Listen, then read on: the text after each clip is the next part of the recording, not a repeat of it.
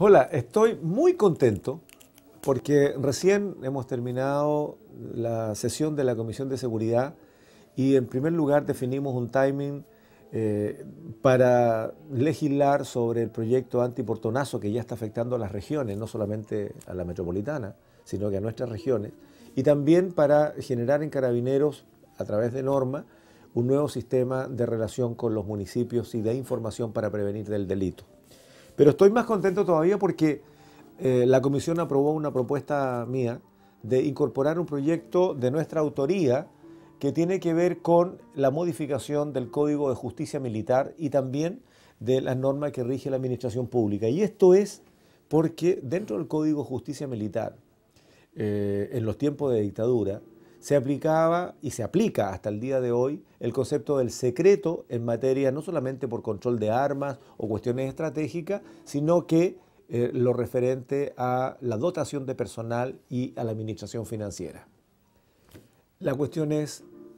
y todo el país ha sido testigo, dónde se produce el fraude más importante de lo que lleva eh, corrida la reforma procesal penal. En la división de finanzas de Carabinero.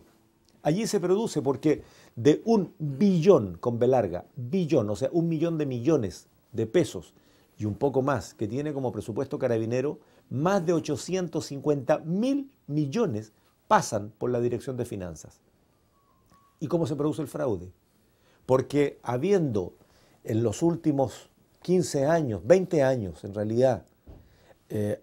estado en aumento la dotación de carabineros de 20.000 a 30.000 a 40.000 a 50.000 a 65.000 carabineros, eso es lo que hoy día Hacienda dispone en términos de plata, carabineros en lo concreto tiene 58.000 funcionarios. Entonces la pregunta es, ¿Dónde están los 7.000 que faltan, pues? Buena parte de esa plata destinada a pagar a 7.000 carabineros fue a parar en los bolsillos de altos oficiales de la misma institución, que a través de la Dirección de Finanzas lo que hacían era depositar parte de esos dineros en cuentas particulares. ¿Cuál es el objetivo de nuestro proyecto? cuando entendemos que el concepto de secreto que lo define el Código Justicia Militar y que tiene que ver con las instituciones que dependían del Ministerio de Defensa, como las instituciones de las Fuerzas Armadas, y de orden, entendiendo de que había información que podía colocar en riesgo la seguridad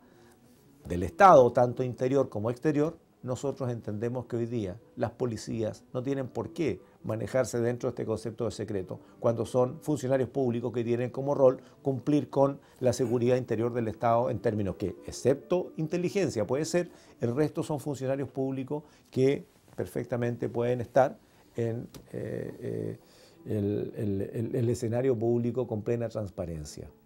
Me tiene muy contento que podamos empezar a legislar para modificar después de 30 años, una norma que colocaba a las fuerzas de orden, carabineros y PDI, en el lugar secreto, en donde no podía auditar Contraloría, donde solamente podían revisar las cuentas miembros de la misma institución, o sea, eran los mismos que se cuidaban sus cuentas y por lo tanto eran los mismos que hicieron los fraudes,